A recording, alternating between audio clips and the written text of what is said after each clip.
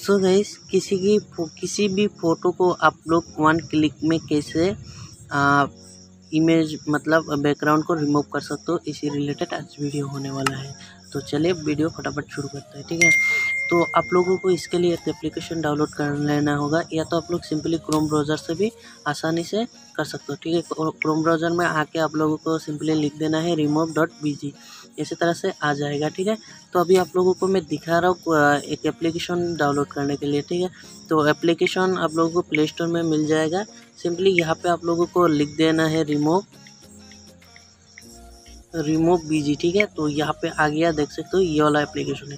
तो आप लोगों को सिंपली डाउनलोड कर लेना है। करने के बाद कुछ आप लोगों को परमिशन मांगेगा, वो आप लोगों को दे देना है, ठीक है? देने के बाद कुछ ऐसे तरह से इंटरफेस आएगा, ठीक है? मैं दिखा रहा हूँ।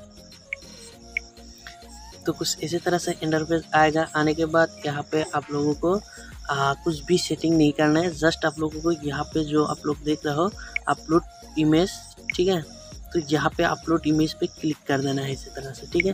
तो जैसे मैं कि यहाँ पे क्लिक कर दिया करने के बाद आप लोगों को जो फ़ोटो है वो सिलेक्ट कर लेना है। जैसे कि मैं यहाँ से मेरे एक कोई से भी एक फ़ोटो सिलेक्ट कर लेता हूँ ठीक है? सो इसे मैं एक फ़ोटो को सिलेक्ट कर लिया।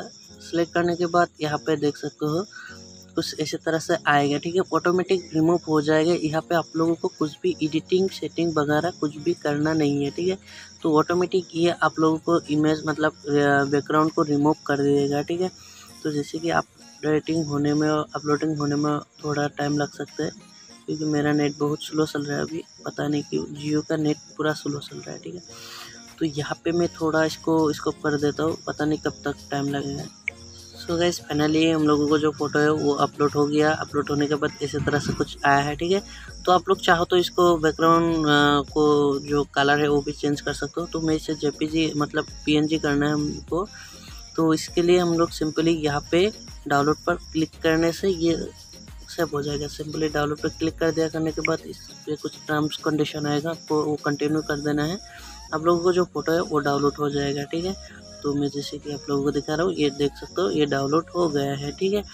तो इसको रिलेटेड मैं एक वीडियो भी बनाया था मतलब पीएनजी फ़ोटो कैसे डाउनलोड करता है, वो वीडियो आप लोग नहीं देखा तो डिस्क्रिप्शन बॉक्स में मिल जाएगा, या तो आई बटन में, या तो एंड स्क्रीन में मिल जाएगा, आप लोग आसानी से वो वीडियो वॉच कर सकते हो, ठीक है? तो मिलते हैं नेक्स्ट वीडियो पर, तब तब तक के लिए बाय बाय जय हिंद, वंदे मातरम।